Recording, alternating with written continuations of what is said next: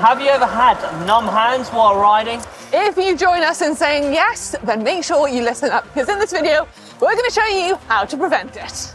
Now, it has to be said, if you are doing hours and hours of riding like those athletes, then it is hard to dodge numb hands entirely, but you can try and reduce it.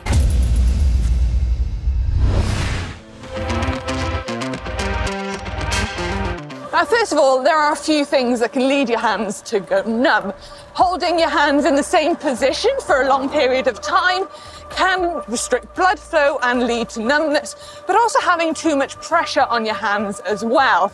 And we all have our favourite position to ride it on the bike. It might be on the hoods or the drops, but it is a really good idea to mix up your hand position as often as you can. So on your hoods for a bit, then on your tops, and even your drops, get nice and aero, and then you can just loosen up your hands, keep them nice and relaxed.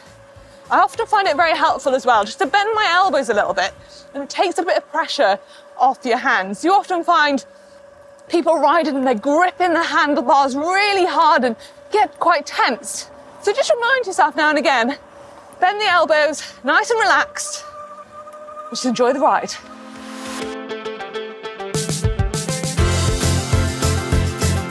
Let's address your bike setup. Now, if you find you're getting numb hands, it could be because you haven't got your bike set up correctly.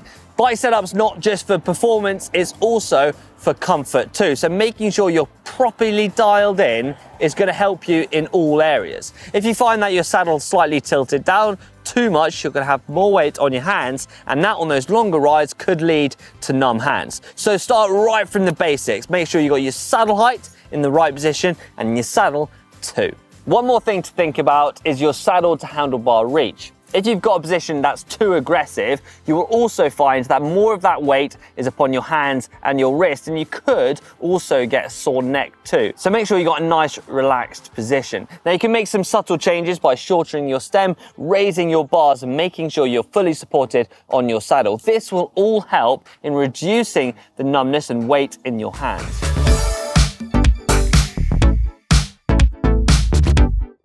If you've got your position dialed and you're still getting numb hands, it could be the case that you need to invest in a good pair of cycling gloves. If you're not wearing gloves, it can be that the vibrations travel from the road through your bike into your hands and starts to add up over the course of a long ride. You don't need to go for long fingered gloves like I'm wearing, you go for mitts, to have the fingers cut off for warmer summer rides. And you could also think about double wrapping your bars with an additional layer of handlebar tape. Something I used to do a lot of actually because my hands quite big and I found that on the handlebars, just not enough grip, not enough circumference to get a proper hold. So double wrapping the bars made it a lot more comfortable for me, could help you too. Last up, it's worth saying that it is beneficial to try and learn to relax your grip on the bars, especially if you're new to riding, you're getting used to handling the bike, it can be quite easy to over tighten that grip, getting nervous in certain situations. So just remember to remind yourself to loosen that grip relax your upper body. That can definitely help. Mate, you're the one with all the experience in the super long, ultra epic rides. What have you done in the past to get over numb hands?